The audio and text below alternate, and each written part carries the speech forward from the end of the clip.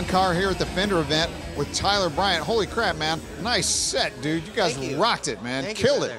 Yeah, man, it was it was a really fun evening. You know, for a kind of a semi-corporate event. Yeah. It was pretty loose. Yeah. Let's Let's talk it. about the amps, man. The Tone Masters. What do you think? Well, so I got a call from um, my Fender rep Ben yesterday, Yeah. and he said you have to come to my office, and he wouldn't tell me why. Yeah. And he said I want you to play through this new amp, the one that I want you to play through tomorrow. And he didn't tell me that there were no tubes in it because he knew I wouldn't drive to his office if he told me that. Right. Um, And so I played through it, and I, I was like, "Yeah, it sounds sick." You know, what do you want me to say? It sounds like a. I've never been picky about Fender tube amps, like a Princeton or a Hot Rod Deville. Like, if you if you can play, you can get what you need out of it.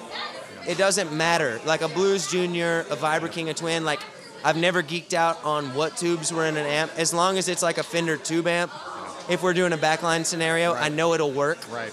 Um, So then he goes, pick up, pick it up. And I lifted it and I was like, oh no. I was like, you just tricked me, didn't Yeah, you? right. And I, I knew as soon as I picked it up that there was n- no tubes or, you know, Yeah. it was it was so light. Yeah. I'm a believer. It's, uh, you know, otherwise I wouldn't have played it tonight. I w- if I didn't if I didn't think it sounded sick, I would have brought some amps with, Yeah, clearly, you know, with man. some tubes and. Uh, but I think, especially like we're at Third Man Records in the Blue Room tonight, and uh, everyone's set up really tight together, and so the drums right next to the amps, you know. Um, I mic'd up the twin, and then on the deluxe, I took the direct out.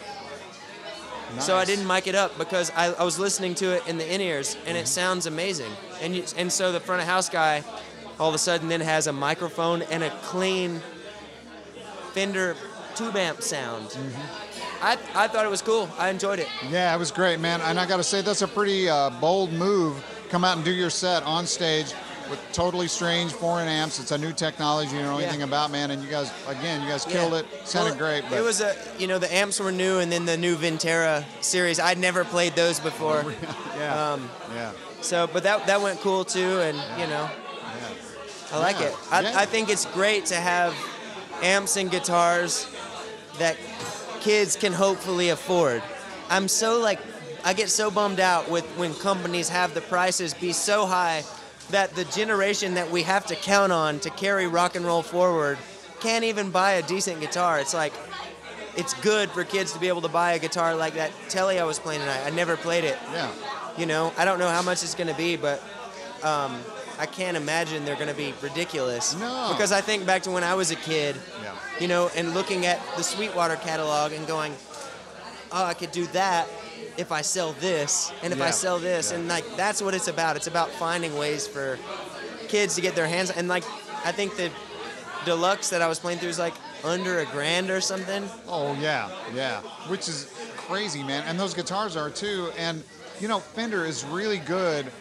Talking about that, Fender seems to be really good across the board about bringing great stuff at low prices. Man, some of their Yeah. entry level stuff is like, wow, I wish I had that guitar when I was starting. I out. mean, some of the You know? guitars that I started out with were like, you know, they were Mexican Strats. They were, Yeah. you know, I got some of the Japanese stuff, and Yeah. and they're, they're guitars that I still play. Yeah, absolutely. You know, and I still man. have. so- Absolutely, great stuff for sure, man. Yeah, I mean, I've got a uh, got an '87 American Standard that I bought brand new. Yeah. I played three sets of frets off of it, you know, so it's Wow. like, you know.